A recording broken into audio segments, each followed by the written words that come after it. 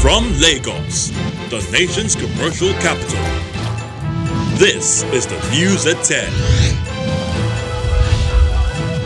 Live from Channels Television. Reporting tonight, Gimba Umar.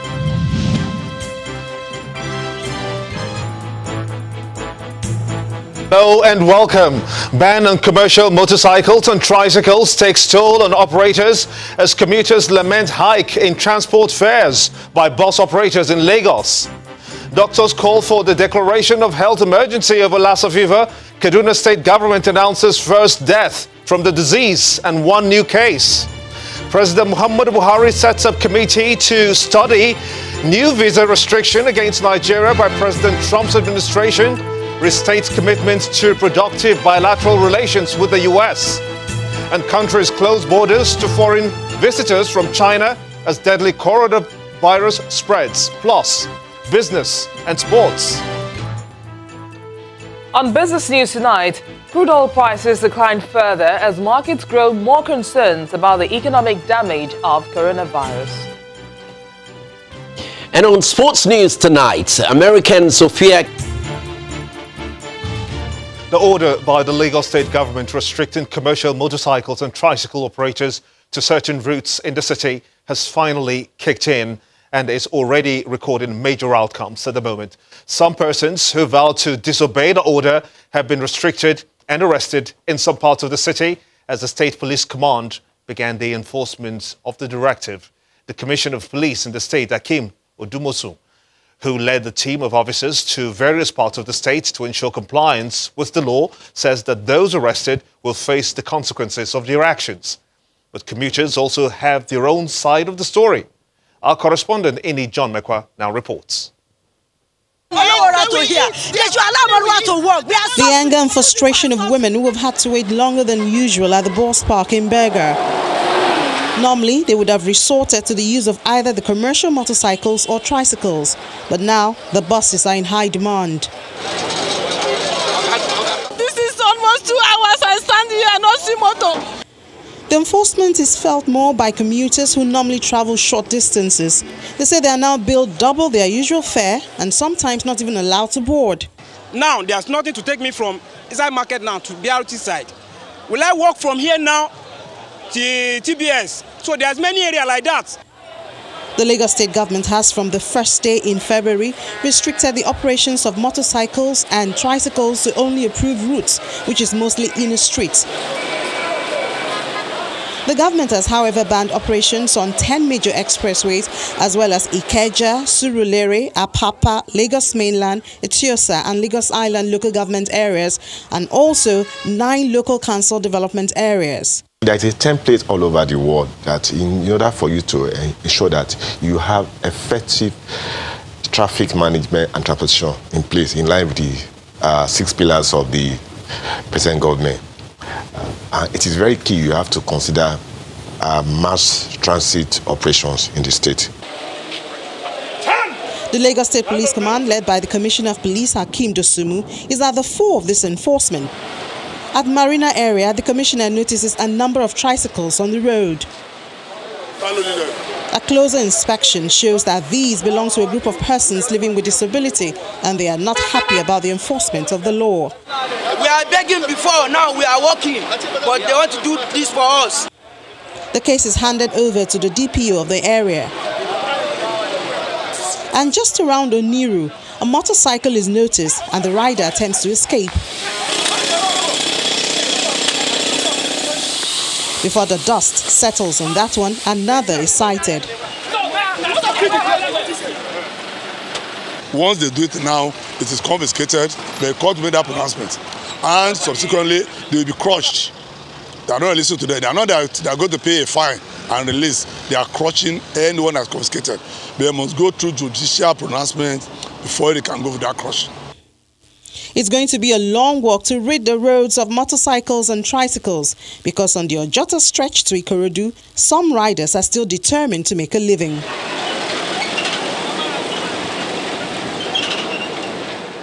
So it's now up to the Lagos state government to balance the issue of unemployment, which may result from the enforcement of this law and the concerns of insecurity and accidents which this group of road users have been alleged to have caused in the state.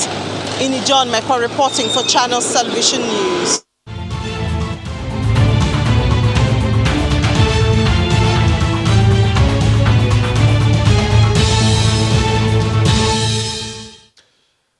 The National Association of Resident Doctors is asking the federal government to declare Lassa fever as a national health emergency.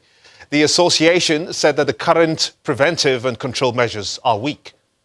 The members are also asking the government to increase hazard allowances for the doctors because the risk they are exposed to could be there.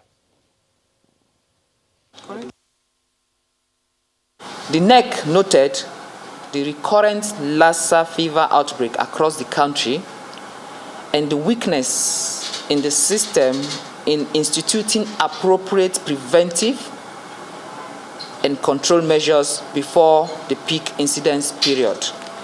NARD calls on federal government to declare a national emergency on Lassa fever and also evaluate the hazard allowance paid to healthcare workers considering the increased risk faced by health care workers. The association observed the unpaid 12-month salary arrears of her members at Ladoke Akintola University Teaching Hospital and 14-month salary arrears owed her members in Abia State University Teaching Hospital in Abia State. The non-payment of salary shortfall of 2014, 2015, in 2016 by the federal government to her members across the country. There is timeline to governments, especially the state governors, to pay our doctors their outstanding arrears. And of course, the time of interaction is not entirely up to us, but I want to assure you that our next meeting will be in three months' time. So I believe three months, time, three months is enough period for any meaningful negotiation and results to come out of that meeting. And still on the Lassa fever outbreak, the Kaduna state government has announced uh, the death of the first victim from Chikun local government area of the state.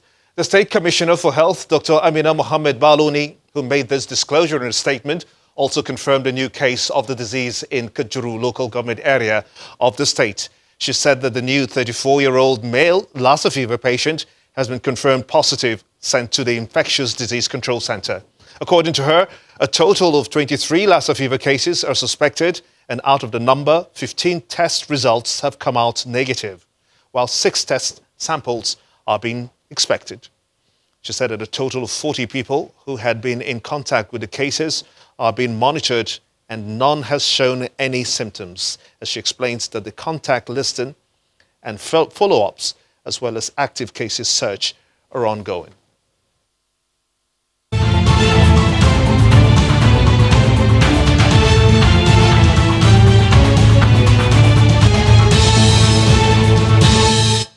The President has established a committee to study the updated methodology adopted by the United States government to assess compliance of certain security criteria by foreign governments. This is contained in a statement from the presidency in response to yesterday's announcement of a new ban restricting immigration from Nigeria and five other countries in an expansion of U.S. policy blocking travel from certain nations. The other countries affected are Sudan, Tanzania, Eritrea, Myanmar, and Kazakhstan in a policy designed to tighten security for countries that do not comply with the U.S. minimum security standards or cooperate to prevent illegal immigration. The decision, however, does not apply to officials, business, uh, tourism, and student travel visas. The committee is to, uh, headed of course by the Minister of Interior, is to work out with the US government, Interpol, and other stakeholders ways to ensure all updates are properly implemented. It adds that Nigeria remains committed to maintaining productive relations with the United States and its international allies especially on matters of global security. The addition of Nigeria to the six more countries on the US visa ban is just one of the attempts by the Trump administration aimed at restricting Nigeria from uh, traveling to the United States. In this latest case, the U.S. government cities failure to uh, meet its security and information sharing standards is the focus. This next report by our foreign affairs correspondent Amarachi Ubani takes a look at previous efforts aimed at achieving the same end. Many might be surprised to see Nigeria on the list of countries marked for a ban on certain types of visas to the United States, but so will citizens from Eritrea, Sudan, Tanzania, Kyrgyzstan, and Myanmar. And yes, Africa's most populous nation has been on the radar of the US government for a while now, despite having strong economic and security related ties to the United States. Last year, the Department of Homeland Security completed a review of countries evaluating whether the entry of their nationals into the United States could cause a public safety threat. It examined each country's ability to verify identity of its own nationals, information sharing practices with the United States, and possible terror or public safety risks. They then attempted to work with the countries to remedy outstanding issues, which ended up removing some countries from consideration. That was when the Trump administration decided the countries would be subjected to the visa restrictions.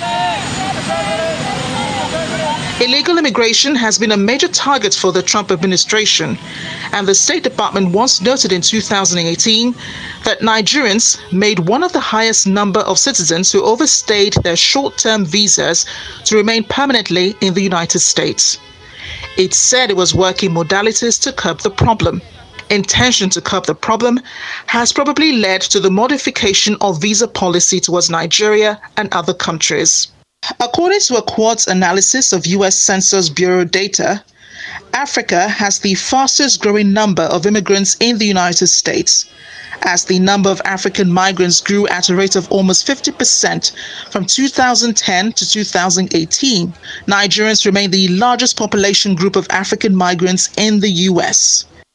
And last year, the curb on Nigerians emigrating to the U.S. began.